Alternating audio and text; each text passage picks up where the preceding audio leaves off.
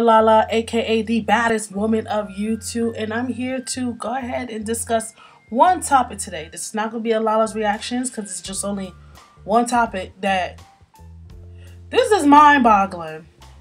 So, you guys remember YouTube star Chris Sails, and he was with former child star Parker McKenna. McKenna, sorry, she was from My Wife and Kids. Okay, and then later down the line, um, whereas she was posting, there was pictures posted sent to all these Instagram pages that she had a black eye, a bruised, um, bruised side, whatever. She's she's leaving Houston of that nature. First off, before I get into that, if you are new to my channel, make sure you click on the subscribe button down below and click on the notification bell so you know that Lala's World, myself, Lala, has uploaded a new video. Also, and again, um, new merch is coming sooner than you think. So let's go ahead and get started with this discussion, shall we?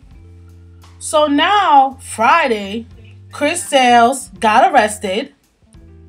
And then when he got arrested, when he got arrested, all of a sudden, you know, it went all over Instagram. We're talking about there were some people that said some like side eye stuff.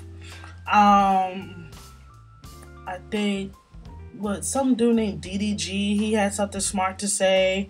Um, you can find that on the All Tea All Shade Instagram page. I'll leave that information down below. Somehow McQueen dressed like Chris Sails. It was a hot mess. But the joke was on everybody because how was it like a few hours later or the next day, freaking Chris Sails made bail. He made bail.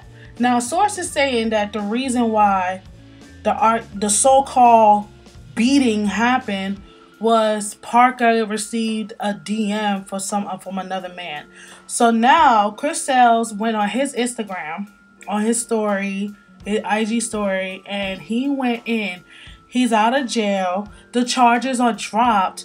He's like pretty much saying, I don't know why people don't listen to what people say, why people lying on me. And I'll leave the link down below um, as well where I got that information.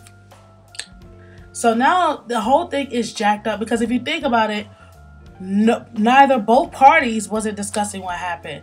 Chris Sails was like dragging along, trying to promote his little album, promote his little song, promote his little video. Parker McKenna, all she said, McKenna was like, oh, I can't talk about it. That's what my lawyer said. And then later on, she started posting like random pictures, like, you know, from fact, like, you know, from, I guess, from clothes that she got. So it's like, okay, is it dead? Is it buried? And then all of a sudden now he's arrested for something he didn't do in my opinion, there is his side, her side. Excuse me, sorry, I have a nasty cough that I'm getting over. And there's the truth. So, comment down below what you think about this situation. Do you think it's over? Do you think Chris is telling the truth? Do you think Parker's telling the truth?